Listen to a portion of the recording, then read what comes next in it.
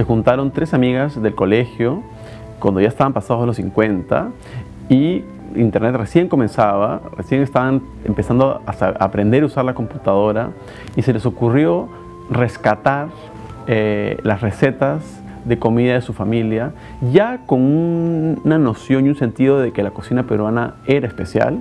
Y con ese primer material juntaron 350 recetas y con eso lanzaron un portal. Así comienza hace 15 años historia de Yanuka.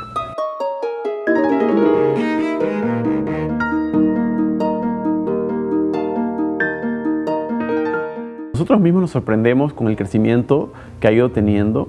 Hoy día la comunidad está compuesta por 550 mil personas, visitantes únicos, que acceden a la página todos los meses.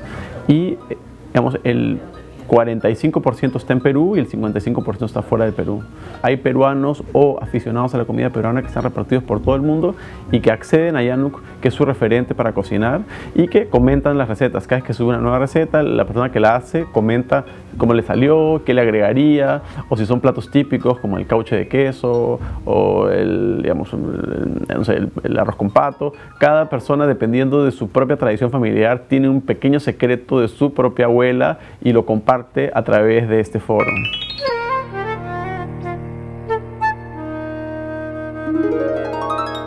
«200 recetas imprescindible es eh, el libro que Yanuk está publicando para celebrar sus 15 años este mes y ha sido un proyecto muy lindo para, digamos, escoger de las 5.000 recetas que hay en la base de datos, cuáles poner.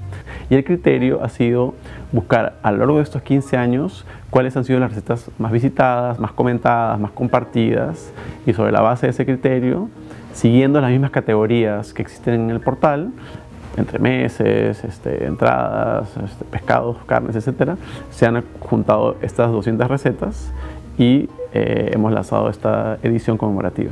Yo creo que más bien lo que tiene Yanuka a diferencia, digamos, de, esa cocina peruana quizá más mediática, es que, es que realmente es el gran digamos, repositorio de esa, esa sazón casera peruana.